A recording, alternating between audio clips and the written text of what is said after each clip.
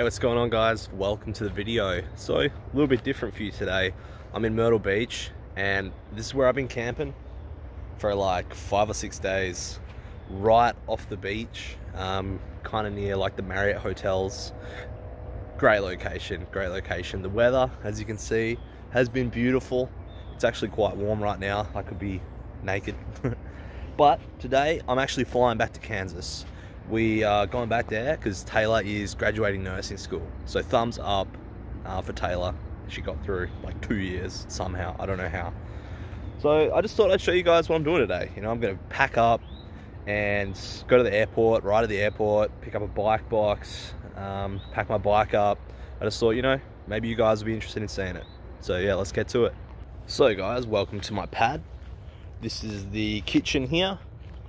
Right here is the garage. Got the old bike locked up to the tent there. Over here is my kitchen pantry and wardrobe. And my two bed, two person bed, tent, whatever. It's got a bit of gear sort of hanging outside the tent there, you know. Hey, it was a good setup here, guys. I'd open this side, but I can't because the zip's not working. Let me quickly show you inside the tent here. Yeah, so I usually put my water up here. Got my little Sea Summit air pillow. This is so good because it's like kind of fabric on the outside and it doesn't slide around. This is my eye mask, the Mindfold. So good, completely black at night.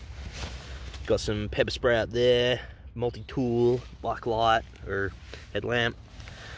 Got my little fanny pack there, fanny pack so good. Got a bunch of clothes, my bag, dirty black clothes. This is my Walmart sleeping bag. It's like a tomb style rated to, mm, what is it rated to? 30 Fahrenheit. Over there's my restroom and the dishes. yeah, great little tent. Unfortunately, the zips are pretty much finished now for this external fly, or uh, sorry, bug net. All right, we better start packing up. Yeah, by the way, that's the Marriott, like just over there. If we have time, we'll go hit the hot tub again. Yeah, so the side is packed up now, as you can see. Actually took a lot longer than I thought because I've been here for, you know, so long. But the bikes come together pretty tidily. Yeah, I was so grateful for this spot, you know. I mean, look at this. I was under this nice tree. It's like all quite like bushy, so it's pretty hidden. Very grateful, very grateful. But it's time to go. And here we have the beach, just down from where I'm staying. So I've just been coming down here to get water. Can just like, you know, get it from the shower here. It tastes pretty good. So obviously I'm here during the off season and it's quiet. Can you guys imagine how packed this would be in the busy season? Like, it's like a 60 mile strip of resorts. I'm not even kidding. So I'm set up here at Anderson Park now. It's one of the few public spaces available in Myrtle Beach. Everything's private here. Uh, it's a nice little spot though. Um, cooking some lunch. Got some rice cooking with, gonna have it with pineapple and some salsa. Unfortunately, I'm gonna have to throw some food away because uh, I don't think I'll be able to take it back with me because like weight restrictions. I have to double check. I'm pretty sure I can. My bike box can be 25 pounds 25 pounds? Is that right? No, might, might be 50 pounds, 25 kilos. So yeah, I want to be like around there or I'll get charged more. I don't want to get charged. Yeah, see, look how developed this is, guys. Oops, someone started a motorbike or something. Of course. Pruning. Look at that. And then you get this like tiny little piece of space. Better than nothing. Can you see the Ferris wheel, guys? I think this is where the theme parks are. There's actually a few more people down this way. Kind of. Yeah, there it is there. There's the pier back that way. Gonna follow the boardwalk for a little bit. In that direction. Yeah, check out this boardwalk, guys. Honestly, if I didn't know any better, I'd think I was in California. That's definitely the vibes I'm getting right now. Well, yeah, no, for sure. Alright, so we have a box. This beach bike shop, super nice guys in there. Heaps of gear, heaps of stock. So if you need something, if you're in the area, definitely go in there. Now, Gotta roll the box up. Alrighty guys, have the box here and even got some stuff to pack it with inside. I'll show you. Ta-da! So now I have to like break it down, fold it up, then ride with it to the Walmart. Alright, what do you guys think of that? Isn't that sick? I think it'll actually work really well. I like strapped it to the pannier cage on the rack, sorry, and then I also strapped it to the bags and then just like strapped that on the end like loose. But you know, I think it'll do alright. And we made it guys. A couple miles to our friendly neighborhood Walmart. Actually, it's not a neighborhood, it's a supercenter Walmart. I don't know if you can see the box on the back. How's it looking? Thumbs up if you like my ingenuity. I've done it before. In the past, I've just like carried it under my arm. But I realized with the rack on there, no need, mate. No need. Anyway, I really want a luggage scale that costs like 10 bucks here, so I think it's worth it. Let's get through here. And up on the curb. Yeah, so I'm at the airport now. Just trying to work out where I should build it. I was going to build it out here on the grass, but I realised it's a little bit far. The airport's like over there. So I might try and get as close as I can so I don't have to carry it over there.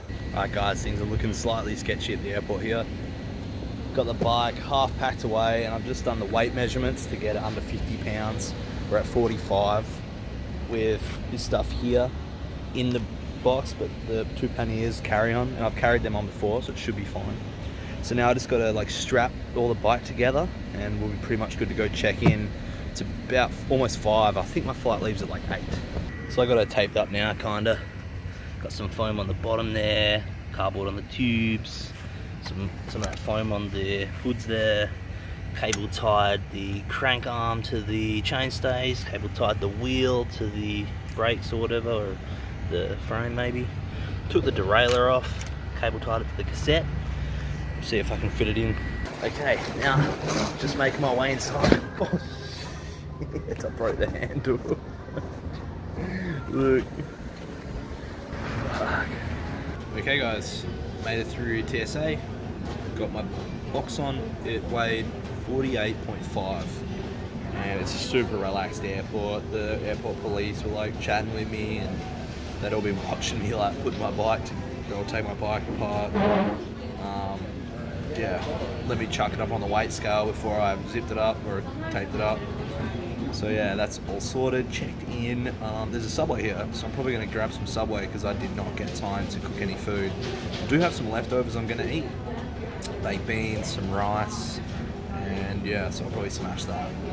Right, so Subway closed, but I quickly went over there, talked to the lady working there. She gave me a free bread. Stoked. So I now have a little bit extra food. I've also got this leftover rice and that. Got some baked beans, baby. Took my little lime through TSA. So yeah, I got I got that to enjoy. Um, yeah, there's a lady with a dog over there. She's got the, her dog in a little baggie. I love the US, man. Like, there's literally a pet relief area over there somewhere. You can take your dogs on the plane here. Freedom.